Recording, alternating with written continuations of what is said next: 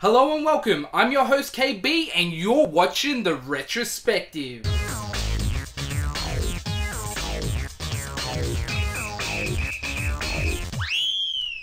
Dinosaucers was a TV series produced by DiC Entertainment and released in 1987.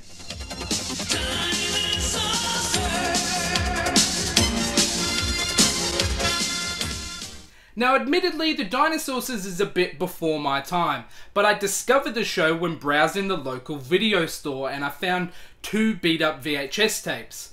Being the cartoon geek that I was, I was fascinated by the concept and I wondered how I'd never heard of the Dinosaucers.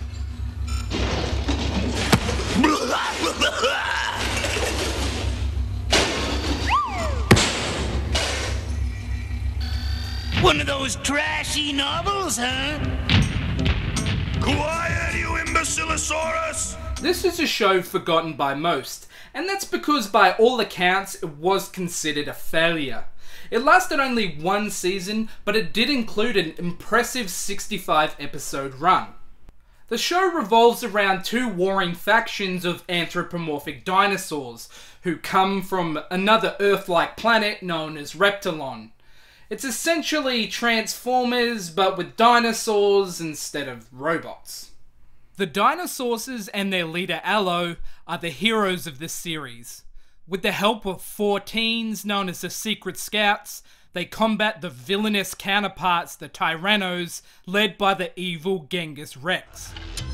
Now all I have to do is send Teryx a ransom message and set up an exchange for the girl.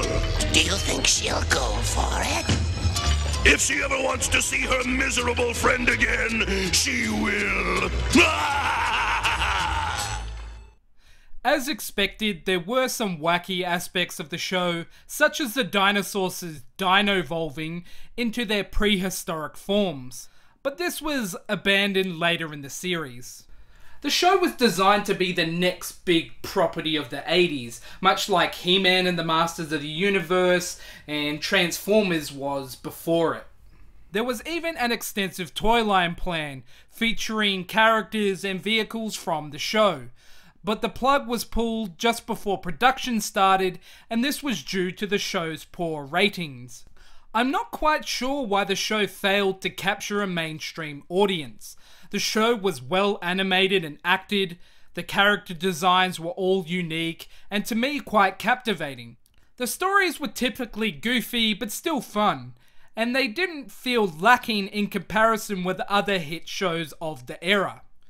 Just the idea of dinosaurs from outer space, while ridiculous, is intriguing and seems to me like it would have fit in perfectly in the 80s. To the general public, the show is just a forgotten relic of the 80s, but there is still a small, hardcore cult type following for the show, which to me is amazing to see. Of all aspects of the show, my absolute favourite thing about it was the intro. It featured a cool animated sequence, a nice narration which helped set up the premise of the show, and personally one of my all-time favourite theme songs from the 80s and 90s, which is just epic. We used to be four ordinary teenagers. Until one day, we met some new friends from out of town. They were called Dinosaucers. My friends and I became the Secret Scouts, allies to these dinosaurs from outer space. Now, there were rumours circulating years ago about a possible rebirth for the series, but there was never really any credible info provided to prove that the show really was in production. Although I am a fan of the original series and would love to see it brought back, I think that due to the failure of the original run and the small fan base it has, it would fail to gain much traction like other reboot hit shows from the era have.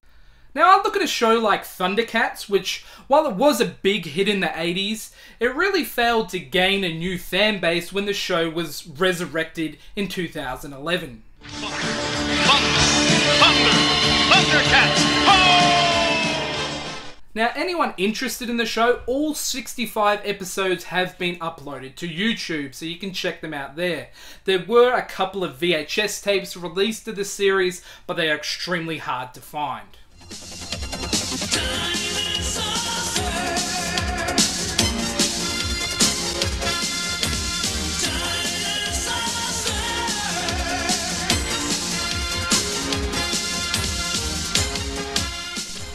As always, thank you for watching the show. Please remember to hit like on the Facebook page and subscribe to my YouTube channel. And I'll catch you guys on the next episode of The Retrospective.